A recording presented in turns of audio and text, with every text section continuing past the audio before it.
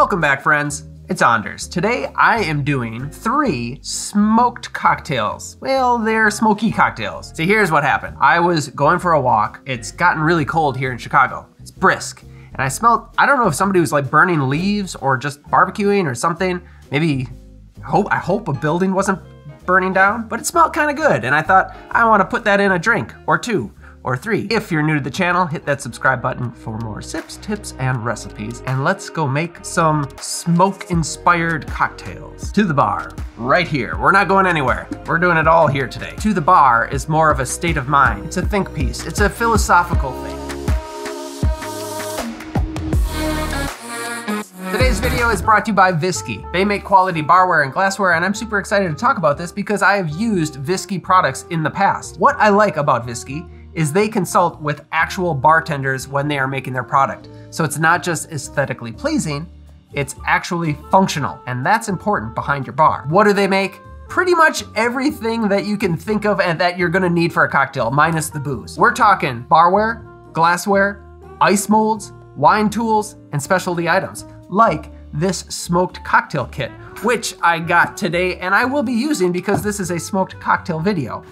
Allegedly, the last time they offered this, it sold out in 24 hours. So it is a highly sought after product, allegedly. I don't know, maybe they only made four of them. It works by catching the smoke. You put your drink in here with the smoke, swirl it around, and your cocktail is now smoke infused. Go to the link down below, use the code ANDERS15, and you will receive 15% off site wide. Thank you, Viski. Now the video. The first smoke cocktail we're doing is the Kentucky Colonel, which isn't typically smoked, but it is very good smoked. To make this drink, you will need a nice bourbon, Benedictine, Angostura bitters, and a lemon. Yeah, it's a pretty simple build, but add a little bit of smoke and it becomes sublime. Let's build. Into the mixing glass, two ounces of bourbon, half an ounce of Benedictine, three good dashes of Angostura bitters, maybe four. This thing is really a little. We are gonna add ice and stir in a minute, but first we want to rinse our lowball glass, right here, with smoke. So set this off to the side and just because I know all of you have one, grab a uh, either a stave from a bourbon barrel or in my case, a header. So whichever you have, go ahead and just grab that now. And we are going to lay down a baking sheet.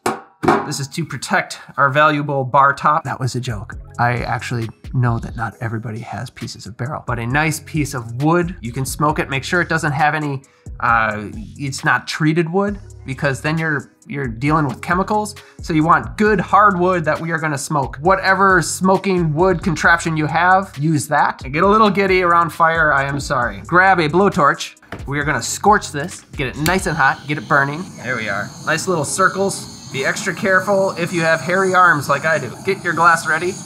Maybe don't reach over the flames. We capture that smoke. Look at that. We won't drink all that smoke, but some of that smoke is gonna get on the inside of that glass. So set this off to the side, grab the cocktail we already built, and we can add ice and stir. The usual 30 seconds or so. Grab your beautiful ice lump, flip this over, and drop it into the glass without losing too much of the smoke. And now we can pour the cocktail right over the ice. That is a beautiful thing. For the garnish, we are gonna do a flamed lemon oil across the top. Keep it toasty. When I'm doing a flamed garnish, I like to do just a little cheek of the lemon as opposed to a, a long swath. Take your classic butane lighter. This is uh, a Bic. Uh, I'm not sponsored. Now I like to light a little wooden skewer. I don't know, something about like expressing oil through the butane.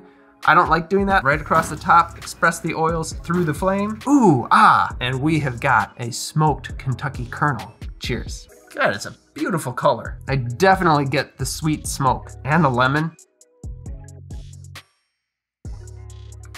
That is delicious. Really outstanding. It's like a honey smokiness, which we are really going to showcase in the next cocktail, which is, I don't have a name for it. It's a bee's knees. I'm smoking a bee's knees. All right, when you go to gather the honey, you want to calm the bees. So a lot of times they add smoke to the bees and it calms them down. I think they eat a bunch of honey because they think their hive is on fire. So what should we call this? The uh, the bee calm, no? If you don't like it, tell me in the comments down below. This is the Bee Calm, B-E-E Calm. You will need gin, freshly squeezed lemon juice, and a honey syrup. This is three parts honey to one part water. Now, before we build this cocktail, we are going to get our smoke ready. We are gonna use this contraption from Viski that I talked about earlier. Grab the stand that comes with the kit and we will put in it one of these little pellets. Again, use whatever smoking contraption you have. Probably going a little overkill here. Ooh. Set that off to the side while that vessel fills with smoke, and we can go ahead and build the cocktail. Grab a shaking tin. In this shaking tin, two ounces of dry gin, add three quarters of an ounce of the honey syrup, and three quarters of an ounce of the fresh lemon juice. Now add ice and shake. 10 to 15 seconds, the usual. I'm going to double strain this into the bottle and then cap it again. Just gonna swirl this around in the smoke. If this were a stirred cocktail, you'd wanna be pretty gentle, but the fact that we shook it, I think I think we could go ahead and shake it. Keep an air in the cocktail, which is what we want in a sour cocktail. So now get your chilled up glass and go ahead and pour it right in. This is not traditional, but we kind of threw tradition by the wayside here. We're gonna garnish with a little rosemary. And I'm thinking maybe we smoke this rosemary. Just, just a little, just a little bit. Mmm, right across the top. There we have the Bee Calm. Cheers.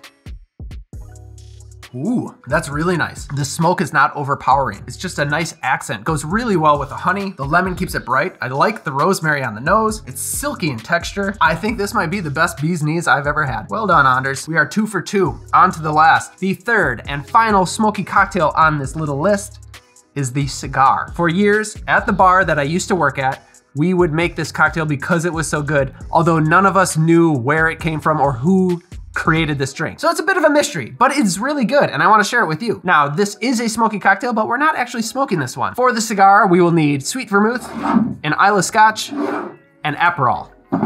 We're also gonna want some grapefruit, and a cinnamon stick. Where does the smoke come from? The Islay Scotch. It's a peaty, smoky flavor that's really big and bold. I should point out, all of the bottles that we have in this video here today, you can find in my collection on Curiada. We're gonna stir this cocktail into the mixing glass one and a half ounces of sweet vermouth, one ounce of your Islay Scotch, and half an ounce of Aperol. Now, you can add ice and stir, 30 seconds or so. I know there's a million ways that you can smoke drinks. You've got those smoking tops, this big like dome that you just encase the whole cocktail with smoke. I think these are three good smoky cocktails to get you on the path of smoky cocktails. Grab your chilled cocktail glass, strain the cocktail into the glass, zest of grapefruit across the top. We want those grapefruit oils to brighten this drink up. So right across the top, uh, you could roll it up so it looks like a little cigar, but I'm doing something special for you, special, toasted little cinnamon stick. This will be our cigar. I'm Just gonna get the end. Okay, that's good, that's good, that's good. Put that on the edge. It smells outstanding.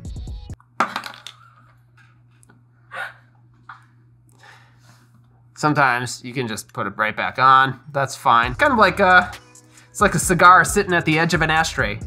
And we are about to drink the contents of that ashtray. The cigar. Cheers. I love this drink.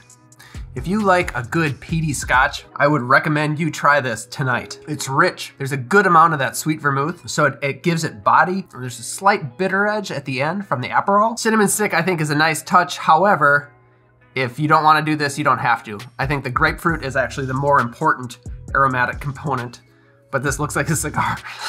so thank you, Viski, for sponsoring today's video. Thank you, the viewer, for watching. If you want to support the channel, keep watching these videos. If you want to further support the channel, check us out on Patreon. See you next time. Be good. Cheers.